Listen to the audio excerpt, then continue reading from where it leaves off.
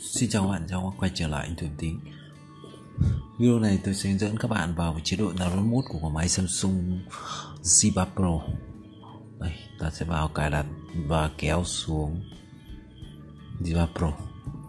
Để vào chế độ download mode Nếu như bạn máy bạn có mật khẩu bạn không vào được Thì ta sẽ xem cái video bên dưới hướng dẫn cách tắt nguồn khi có mật khẩu nhé đầu tiên ta sẽ tắt nguồn ở đây thì nó không có mật khẩu, ta tắt nguồn dễ dàng.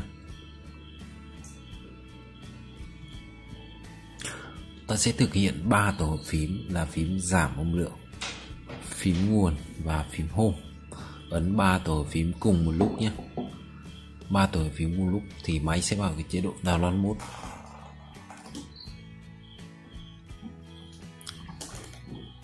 Ta vẫn giữ nhé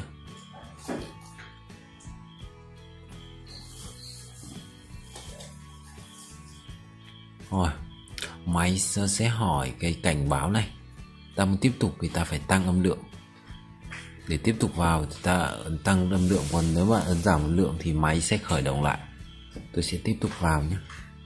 Nếu bạn muốn khởi động lại thì ấn cách này.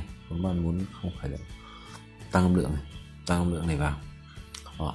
máy sẽ vào chế độ download mode. Ở trong này thì nó có những các thông số như là phiên bản này rồi cái gì lock không?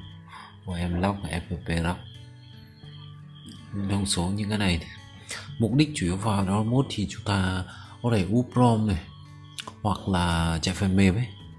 Vậy. oh, để thoát cái chế độ download mode thì chúng ta sẽ dí cùng lúc ba phím. Đấy tiếp tục dí cùng lúc ba phím đấy khoảng 10 đến 15 giây nhé tiếp tục thực hiện lại.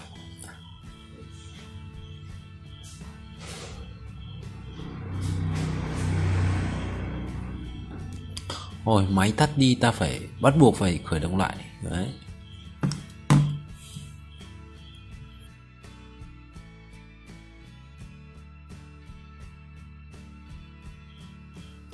Rồi vừa rồi là mình vừa dẫn các bạn vào chế độ download mode của con máy Samsung Z3 Pro. Những con máy Samsung khác nếu mà có phím home ta thực hiện tương tự nhé à, tôi còn một cách nữa để cách vào download mode đơn giản, chỉ bằng máy tính, ta chỉ cần cắm cáp và click ở trên máy tính thì nó sẽ tự vào download. Mốt các bạn xem, theo dõi ở video bên dưới nhé. Một nữa xin chúc các bạn thành công. Các bạn nhớ like, chia sẻ video và đăng ký kênh của mình nhé. Chào các bạn.